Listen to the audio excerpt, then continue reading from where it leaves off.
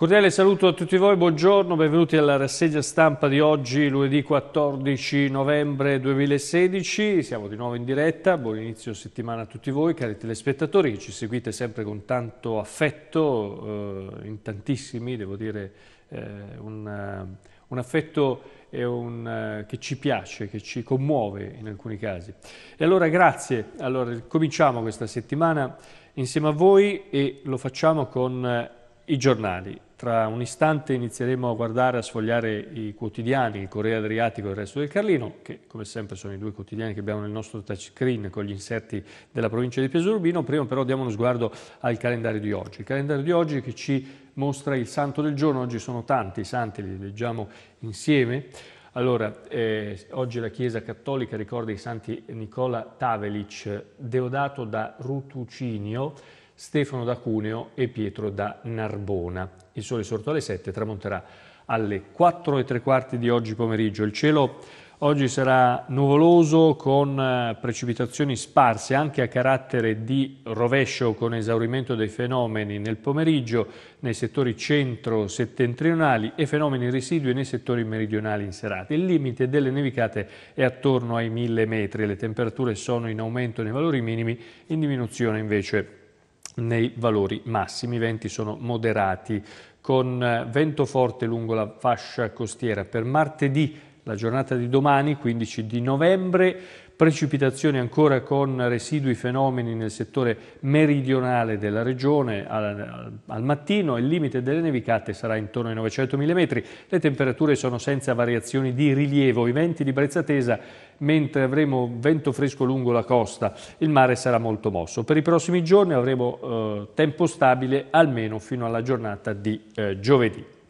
Il resto del Carino questa mattina punta in apertura su un fatto che è avvenuto nel paddock dopo il, dopo il Gran Premio a Valencia di Valentino Rossi. Ecco qua la foto eh, che ritrae Valentino Rossi, lo vedremo tra poco nelle quattro fotogra fotografie messe in sequenza. Vedete nel paddock di Valencia, mentre posi, passa in scooter, Valentino Rossi molla un calcio ed una gomitata ad una donna che era finita nella sua traiettoria. Poi eh, Valentino chiede scusa, spero non si sia fatta male, però insomma questo video è diventato eh, virale intorno eh, in giro per la rete, insomma non ci fa una gran bella figura. Comunque, Montemaggiore invece parliamo del referendum ha detto no, quindi salta il doppio supercomune. Eh, Colli al Metauro non passa, quindi ognuno resterà per conto suo, mentre via libera alle, tel- alle terre roveresche, la- gli altri comuni che invece eh, che lo stesso dovevano eh, decidere e hanno votato per il sì. Vedremo tra poco anche l'altra notizia, ragazzini salvati mentre mettevano sassi sui binari, paura vicino alla uh, stazione. Allora andiamo e ricominciamo da Valentino Rossi. Ecco qua il, la sequenza delle immagini. Il dottore rallenta appena, vedete, eh, dall'alto, eh, da sinistra, praticamente da qui, questa è la foto numero uno, poi a seguire. Vedete, Valentino a un certo punto, nella sequenza numero 4, qua, eh, visto che la donna non si spostava, eh, non era gradita evidentemente, insomma gli ha dato, le ha dato un, un calcio e poi una, una gomitata.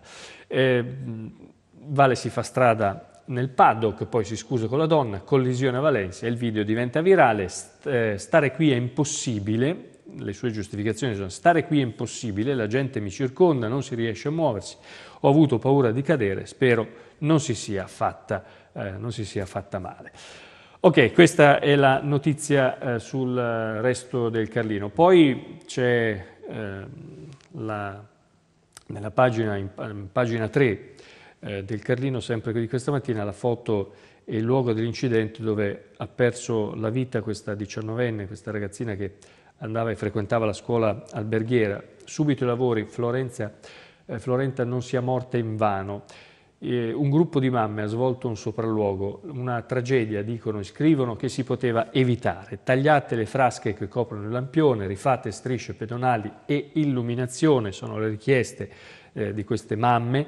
Eh, I ragazzi devono salire o scendere dagli autobus in condizioni più sicure. Una di loro, Jessica Nicoletti, dice non possiamo permetterci altri drammi, questa ragazza è come se fosse nostra figlia, onoriamo così la sua, eh, la sua memoria e eh, queste mamme che hanno fatto il sopralluogo ora chiedono, eh, appunto anche mostrando le fotografie eh, di com'è la strada, di com'è la, la, vegetazione che copre l'illuminazione, eh, le strade, le, la segnaletica che non c'è, insomma ehm, tutto quello che si potrebbe fare per evitare o per, perlomeno per garantire la sicurezza a questi ragazzi che vanno, che vanno a scuola. Allora, dicevamo del referendum, Colli al Metauro, ecco qua. Allora, Montemaggiore dice no, la sfida dei campanili, ecco il responso delle urne e eh, gli scenari. Favorevoli invece eh, saltare Serrungarina, ma a questo punto la fusione possiamo dire è a forte rischio. Perché? Perché ecco nel riquadro un po' come sono andate le, le cose, al, eh, come il responso delle urne, eh, Montemaggiore 2300 eh, persone chiamate a votare, Saltare erano 5.243, a Serungarina 2.149, insomma, eh, vedete, Montemaggiore si è espresso con un bel no, 936 persone hanno votato no, mentre eh, 520 eh, invece per il sì. Diversa la situazione invece a Saltara e a Serungarina dove il, per esempio Saltara eh, ha avuto una, una, un sì schiacciante con il 69%, 1594, quasi 1600 persone a Saltara hanno votato per la fusione, eh, Serrugarina invece quasi uno su due, ma insomma questa è la fotografia di quello che è successo. Adesso bisognerà vedere invece come, come, come andrà. Non credo che si possa fare la fusione. Diversa la situazione invece eh, sull'altro fronte, eh, Barchi, Orciano, Piagge e San Giorgio, tutte d'accordo eh, per, per, la fusione. Addirittura, guardate qua, eh, a Barchi eh, l'83% dei votanti eh, ha, ha detto di sì e quindi Terre Roveresche è e sarà il nuovo comune, sarà una realtà, 82% Urciano, il 63% a Piaggia, il 72%, quasi 73% a San Giorgio di Pesaro. Questo è, eh, è, il responso delle, delle, urne. Poi, salvati due bambini, eh, due bambini sui binari, eh, ci camminavano sopra per metterci dei sassi, hanno 9 e 10 anni. Ieri pomeriggio, intorno alle 18, eh, a Pesaro, eh, arriva, sono andati lì vicino alla stazione, eh, si sono avviati verso nord, raccogliendo sassi dalla massicciata, quelli che eh, ci sono lì nella, nella, nella ferrovia, giustamente, nei, nei binari. Un passeggero in attesa ha visto questi due bambini da soli e ha dato l'allarme. Da Cartoceto invece, eh, Cartoceto dopo un'invasione tra rombi di moto Harry Davidson e eh, musica jazz, weekend vincente per, vincente per, il festival dedicato agli estimatori dell'oro verde, cioè l'olio d'oliva, eh, delle Marche e non solo. Eh, insomma è stata una giornata ieri tra l'altro molto, molto, favorevole anche per le uscite, non era freddissimo, non c'era vento, c'era anche un, un sole soprattutto al mattino che ha eh, scaldato anche, insomma un bel fine settimana a Cartoceto per questo festival che nonostante mancasse, perché poi di fatto eh, lo sappiamo tutti, l'olio non c'è, eh, quest'anno la raccolta è andata malissimo, ma nonostante tutto insomma è stata una bella, una bella eh, iniziativa, una bella festa. Corriere Adriatico, l'edizione di Pesaro, in primo piano c'è la questione dei troppi palazzi abbandonati a Pesaro, un piano per il rilancio, dal polo del food alla nuova questura, ma rimane il nodo del San Benedetto, mentre la foto è per la VL che è finita al tappeto, Varese sbanca Pesaro, prova opaca malgrado i 48 punti di Jones e Arrow. E poi sempre sul, sul Corriere, in prima pagina, la morte di Florenta, mobilita, eh, le mamme, i genitori degli studenti scrivono al sindaco, più illuminazione davanti all'alberghiero Santa Marta. La pagina di Fano invece del Corriere, eccola qua, finalmente si vota la fusione, causa di tensioni e spaccature, l'atto per costituire un'unica ASET nel Consiglio di domani, poi la parola passerà alle due società. Paradossalmente le tariffe idriche aumenteranno per la proprietà delle reti. Porta Santa chiusa nel segno dell'inclusione, con il vescovo al Santa Croce c'era anche il piccolo divan nato nella traversata del mare. Lui, con lui il vescovo l'aveva aperta e con lui eh, Trasarti ha deciso poi di eh, richiudere la Porta Santa. Si lavora alla qualificazione del centro, eh, del centro fanese, annunciata dal sindaco per il 2017 la pedonalizzazione della strategica via Cavour con un nuovo arredo, saranno abbellite o ristrutturate le piazze Costanzi, Marcolini e Amiani. Vantaggi anche eh, per il commercio. Il Comune intende riappropriarsi di Palazzo Marcolini, sarà eh, trasferito invece l'Istituto d'Arte.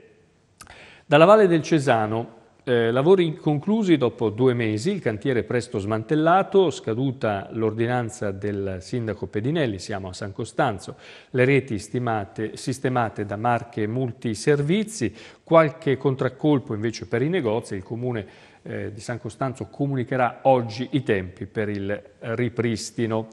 Da Mondolfo si allontana dall'azienda ricerche nella notte, carabinieri vigili del fuoco impegnati per un anziano, l'allarme è stato lanciato dal figlio alle ore eh, 19. Carabinieri vigili del fuoco eh, sono accorsi a Molino Vecchio, frazione di Mondolfo, per rintracciare un anziano che si era allontanato nel pomeriggio e non è stato eh, ancora rintracciato dai eh, familiari e soffre di Alzheimer, sicuramente è rimasto vittima di un disorientamento temporale, allontanandosi senza più riuscire a trovare la via del ritorno, si spera comunque ecco, che sia al sicuro. Da Senigallia, bracceria aperta e subito chiusa, un'odissea di un anno e mezzo. Ora il giudice dà ragione al ristoratore sulla canna fumaria, ma senza urgenza. Un ristorante aperto e dunque è subito costretto a chiudere. Oltre 60.000 euro di investimenti, bollette da pagare, affitto da corrispondere al proprietario, ma senza la possibilità di lavorare. Benvenuti in Italia, verrebbe da dire. Però è la storia incredibile di Vito Giotta,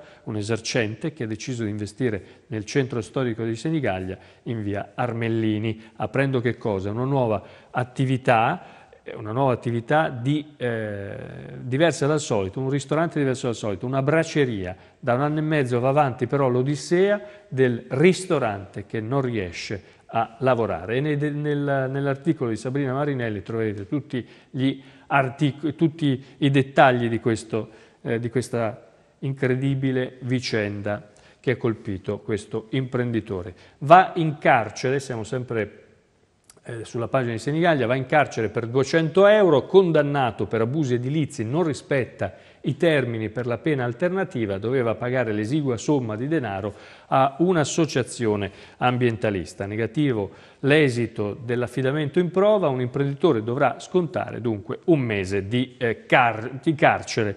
Eh, paga un cellulare online, riceve invece una beffa, una giovane che è stata raggirata da due truffatori che però sono stati scovati e denunciati.